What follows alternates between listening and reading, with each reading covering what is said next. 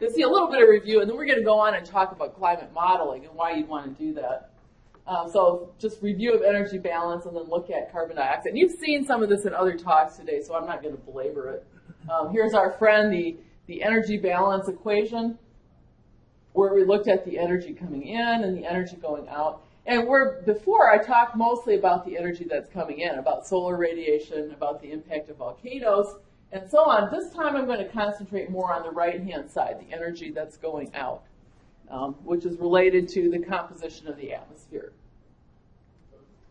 So if we look at the climate of the last 100 years, this is for New York Division, Climate Division 10, which I think is this climate division. Uh, you can see that the annual average temperature has gone through periods of um, maybe slow increases, some decreases over time, and then since about 1970 or so, a more rapid increase. And that rapid increase since 1970 is very similar to what's going on globally.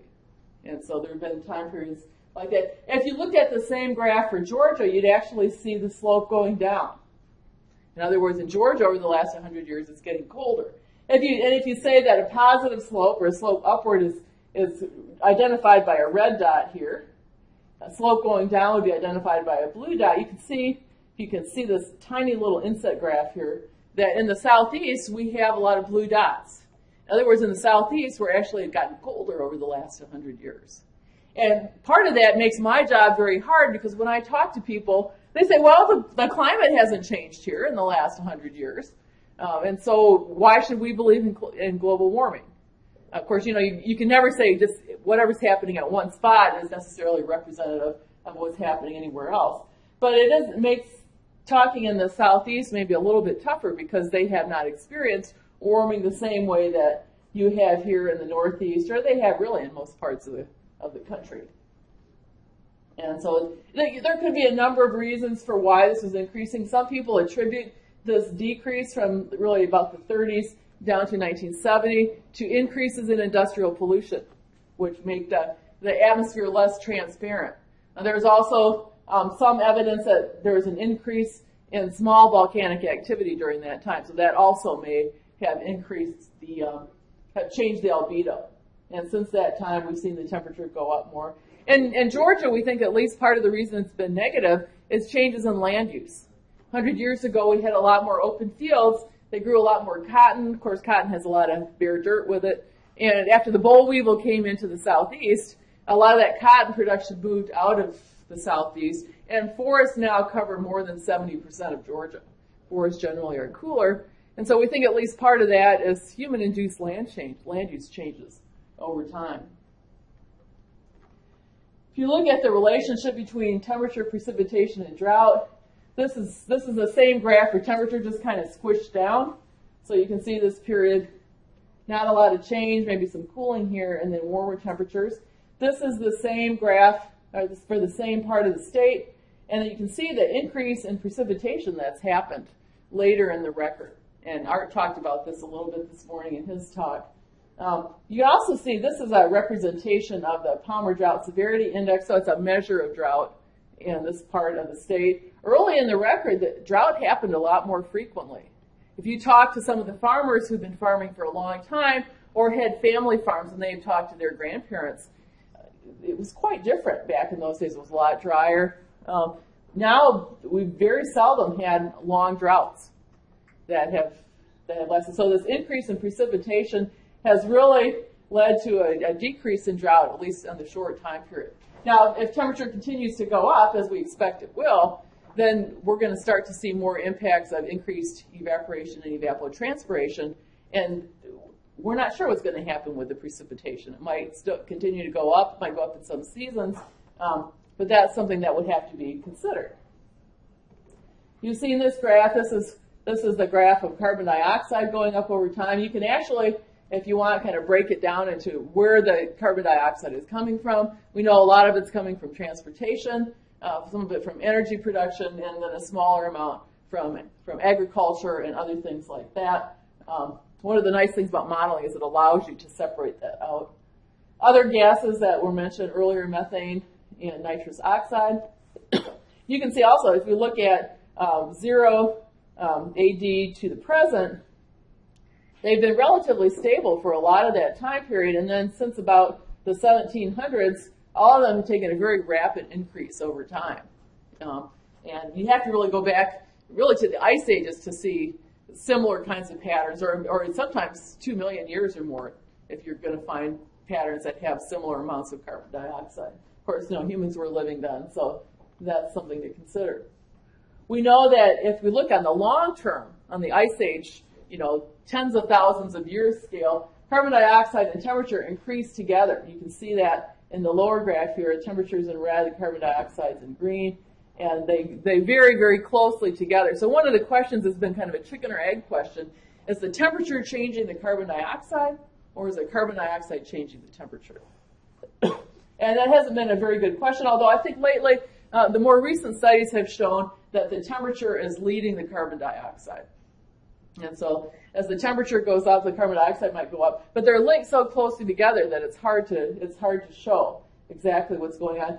One of the things we do know is that if you compare solar radiation, which is the curve down here, here's the temperature, uh, here's the carbon dioxide, we do know that solar radiation has not been increasing as much. And so one of the arguments that some deniers will say is, well, you know, we're just seeing a more active sun. But that really doesn't show up in the data. The sun is not really more active.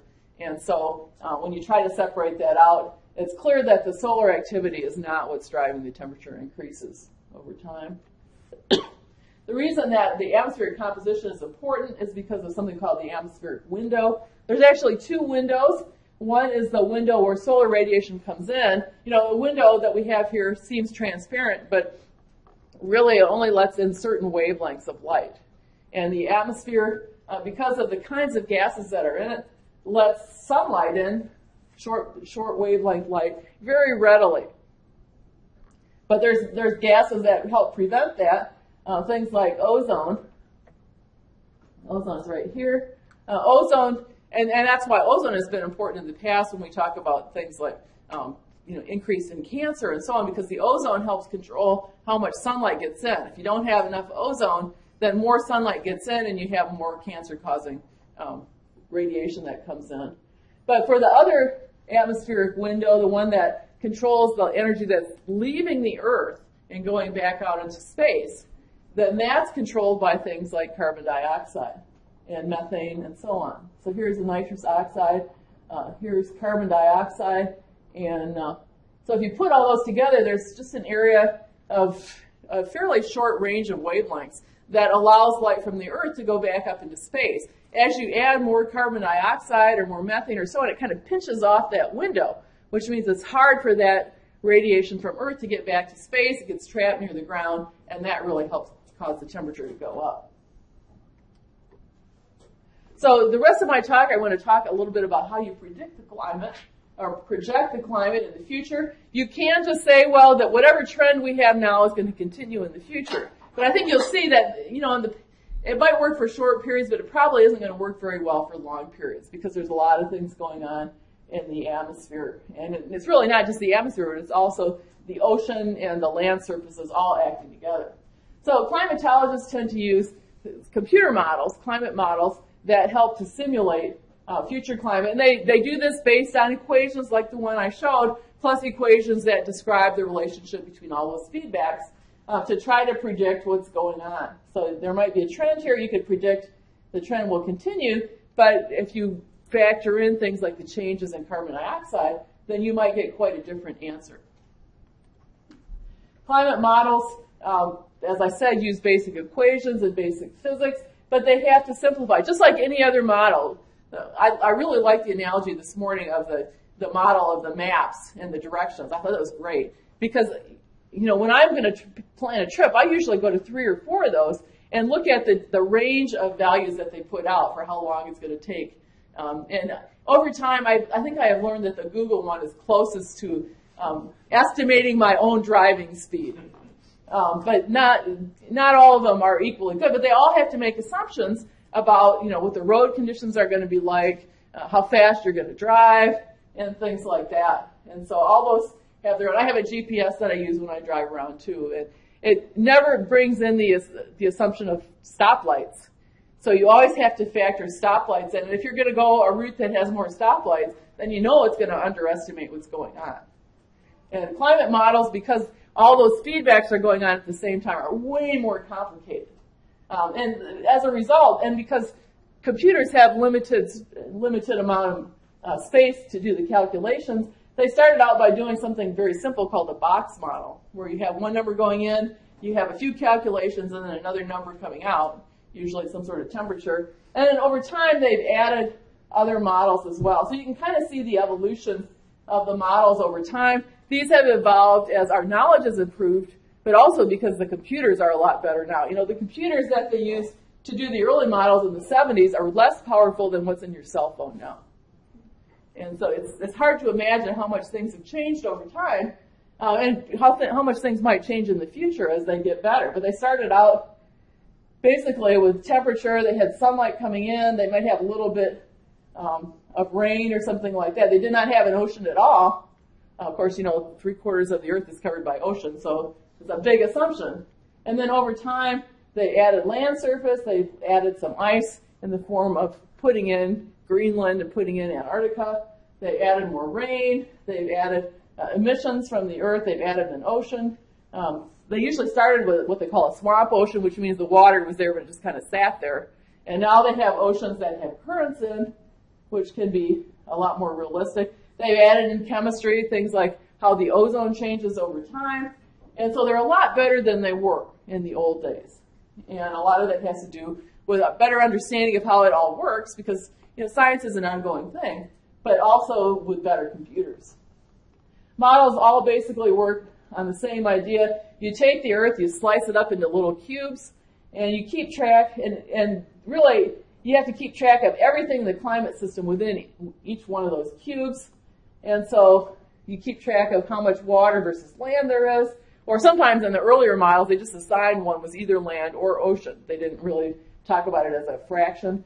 Keep track of clouds, you keep track of the temperature inside, the amount of rainfall and things like that. And then you also have to move stuff because of course the wind blows and blows temperatures, it blows humidity and everything from one box to another. So you have to keep track of all that. So instead of just having a simple check you know, checkbook like you would for your own bank account, it's like keeping track of a, a corporation where you've got multiple accounts and things are coming in and out. And all of those have to be taken into account when you do the, the climate modeling. As Art talked about earlier, that there's a lot of problems with the models, especially the early ones. They had really pretty gross um, and simplified uh, topography. They didn't really calculate, they didn't really show mountains very well. They didn't really show the outlines of the coast very well. You can see on this particular one, Florida turns out to be just two grid boxes and it leaves out this whole part of the coast along Louisiana. Uh, same thing is true, it leaves out half of New Jersey. Um, maybe that's a good thing. But uh, maybe not. Um, so, so it's very simplified. The, the Rocky Mountains show sort of a basic hump where the mountains are, but it doesn't show anywhere near the detail. And if you've ever been in that part of the world, you know that that's tremendous detail, tremendous relief, and all those local climates are very important if, you, if you're the one that's got a, a farm out there that you're worried about. So this simplification is especially bad for things like rainfall. And the reason for that is rainfall is a very small scale process for the most part. You have thunderstorms um, that are acting, you have uh, topography that drives thunderstorms as well, uh, or other kinds of rain. So a lot of it happens in small scale um, things. And so you have to do something called downscaling, where you take this global climate model and then you put another another model within it and you feed things back and forth. The, the, and the smaller model, we call that a nested grid model, um, has finer scale so you can actually get better details as far as the mountains go or the coastlines or things like that. Uh, but there's a whole other process that you have to go through when you take information from the big model and put it into the small models. That's not really simple. And so there's there's people that spend their lives that are looking at downscaling and what's the best way to do that. Uh, some of the other problems with um, the models that we've used in the past is they're not always very good at predicting the current climate. You know, it's, if, if you can't even get the current climate right, then that's a concern because you'd like them to be relatively realistic. And there's some reasons because of the simplifications that they do that. A lot of times they also don't have things like El Nino, the interannual variability is not well captured, or things like hurricanes, again, because the hurricanes are relatively small scale. And in certain parts of the country and certain parts of the world, those are the primary drivers of climate, and so you really have to take the predictions of climate with a bigger grain of salt there where you can't do that. Well, Art used the, the male and female models. I like to use a little different analogy here, the sports car versus the truck. Um, and there's some things that are similar to both, right? I mean, they're both, they're both red. They both have internal combustion engines. They both drive about the same way, and yet they're designed to do really different things. Um, sports cars are like weather models. They're designed to do one thing really well. So if you want to go really fast, you're probably going to pick a sports car like this Ferrari. Um, I think it's a Ferrari. It might be. So, so you know, it will work pretty well for short periods of time. You might not want to do a cross country trip in it. Oh, it might be fun. Um, but you probably would not want to plow your field with the Ferrari. Again, it might be fun. It probably wouldn't be real good for the Ferrari. Then there's a climate model, which might be more like the truck. Maybe not as much fun to drive, especially over short distances, but probably more useful in the long run for that particular thing. They're really designed to do different things. They work on some of the same basic physical principles, but they're really tuned to do one particular thing, better or worse. So the, the truck, the, the climate models are more looking at long-term average conditions, uh, seasonal to multi-year, um, and over bigger time scales, whereas the uh, Ferrari, the, the sports car weather model is more like a, a short-term thing. They're trying to get all the details right in a real short period of time. The advantage to models is that they can separate things out. You can say, what if we just turn off this, we, we, we turn off any changes in the sun? How is that going to affect things? Um, or what if we put in a volcano? How's that going to affect? How's that going to affect something? What if we turn off the changes in methane?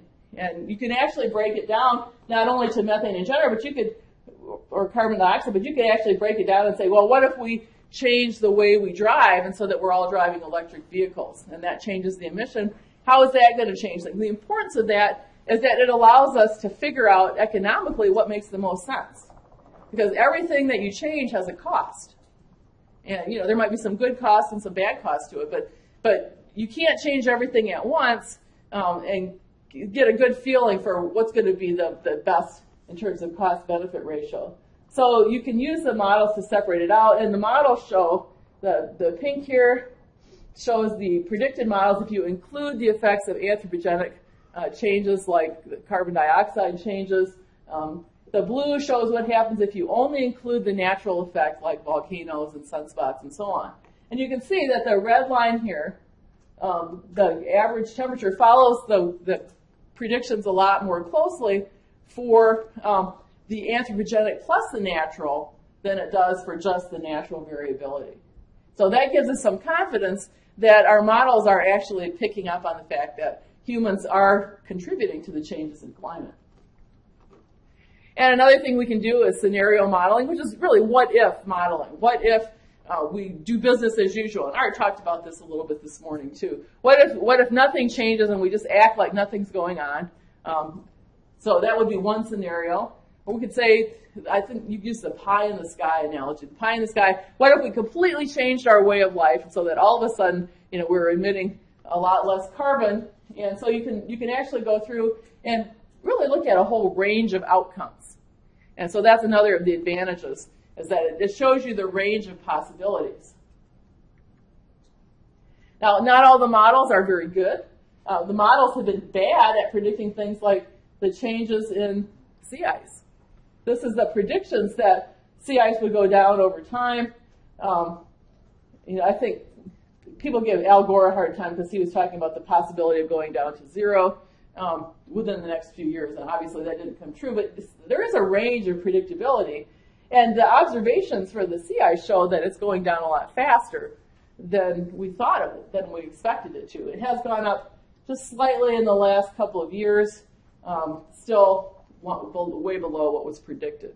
And so the models definitely aren't perfect. A lot of things have to do with not understanding how the deep ocean works and how ocean, because you know we don't have a lot of instruments in the ocean, so it's really hard to figure out what's going on. And, and the ocean is very deep. There's a lot of currents going on. Um, things like that are not well understood yet. We look at projections of future temperature. Uh, here's the observed temperature, and here's just two of the different scenarios. So it kind of gives you a range of possibilities.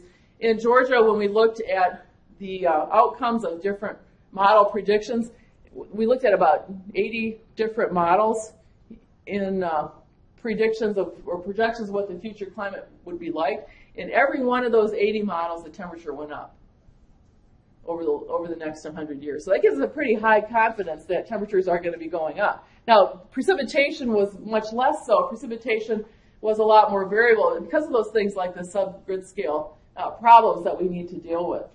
So, so we do know, based on all these different models, temperatures are going to increase, and we're not sure. Um, partly because of problems with the models, but also because we don't, we have to make a lot of assumptions about people's behavior. You know, if you think, if you think weather and climate are hard to predict, then you try to predict people.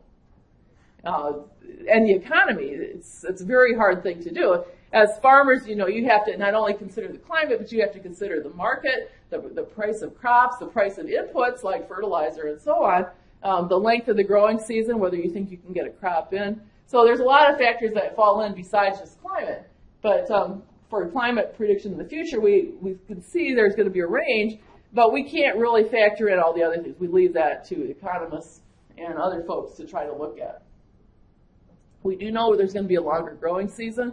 We're seeing that already. Uh, we estimated in the southeast for about every one degree Fahrenheit increase in temperature, the growing season increases by a week to 10 days. And so that might change the way you make decisions about what kind of crops you grow or if you try to double crop. Some of the projections. Here's the historical climate, the number of days above 90. Uh, you can see that in the right-hand side, the projected change just based on one scenario shows a lot more warming, a lot more days above 90, especially along the coast, but I can see even near here uh, also some increases over time which might be a problem if you have a crop that's sensitive to high temperatures, or if you've got cattle that you're worried about heat stress. Projections depend on which scenario you're picking, and so there's a lot of variability based on that. Uh, not all the seasons are necessarily going to be the same. So as Art pointed out, the winter will probably get warmer a lot quicker than some of the other seasons because of some of the albedo feedbacks and other things we talked about. Um, and heat waves will also change. This is not only a problem for the animals, it's also problems for your labor out in the field because they have to work in the heat too. So if you have people that are outside, you have to be able to factor in the effects of heat waves on, on, on the labor as well as on the animals. There's a whole variety of projections here. I'm not going to go into that. Precipitation is a lot more iffy. Um, this is just two models. The Canadian model shows the Northeast is going to get drier. The Hadley model, a different model, shows it's going to get wetter. It's very hard to make long-term predictions. We do know, based on the, the trends, that we're probably going to see these increases in the extreme precipitation over time. We're already seeing those trends occur, so we have a high degree of confidence that those are going to continue. And that's a problem for infrastructure, because infrastructure is all designed for a climate that doesn't change. And so that's an issue that is really going to have to be addressed. There's other impacts like sea level, which may not be a direct impact for most of you, but if you live in a state with a coast, then your, state's going to have to deal with that, and that's going to affect your taxes uh, and regulations and things like that. Um, other impacts, things like changes in vegetation. The maple forest is probably going to be a thing of the past in the Northeast. Uh, no more Vermont maple syrup. They'll move up into Canada. So if you are like many farmers and you have multiple sources of income on your farm and you were, you were doing maple sugaring in the past, you might not be able to do that in the future.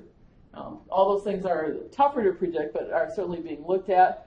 Other things like diseases are also likely to change. Uh, people are going to be moving around because they're not going to be able to grow food in their own areas, or there's going to be wars over water. So all those things will be important. And of course, finally, there's a lot of other things that we can't really predict. We can't predict solar output, although in the news lately they've talked about the coming, the coming little ice age of the next 20 years because they, some astrophysicists are predicting that we might have a quieter sun in 10 to 20 years or so. The effect of asteroids, um, changes in ocean circulation pattern, and of course, as I said, uh, human behavior. So I'm going to stop there so I give time for Stephen, but I'll take a couple of questions if you've got questions.